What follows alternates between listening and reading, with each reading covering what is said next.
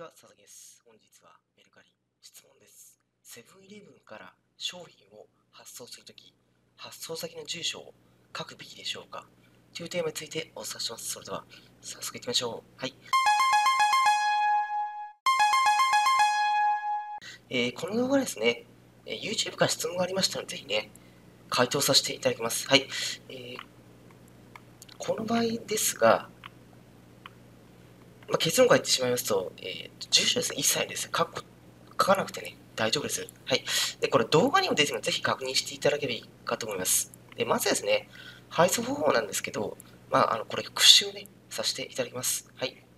えっ、と、配送方商品ですね、これをレジにまず持っていっていただきまして、で、その商品をね、持っていって、で、これをレジに持っていった後に、メルカリの発送バーコードですね、これをですね、スマホから出していただければいいかと思います。はい。で、その次に、そのバーコードですね、セブンインのレジありますよね、スキャンあるんですけど、まあハンドスキャンですね、あれで、その、メルカリのバーコードをスキャンします。そうしますと、発送する住所がですね、ですね、そのままあのコンピューターにインプットされます。で、で発送する住所を記載されたレシートですね、これが出てきますので、それをね、配送性の紙に入れて送るようになります。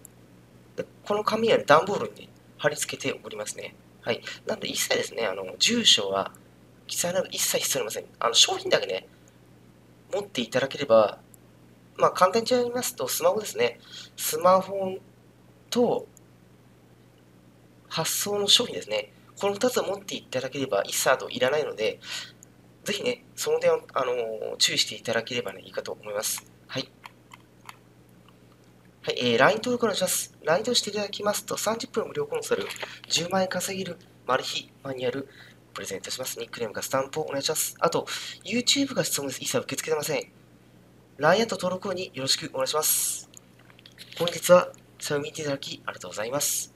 番組登録お待ちします。よろしくお願いします。ありがとうございました。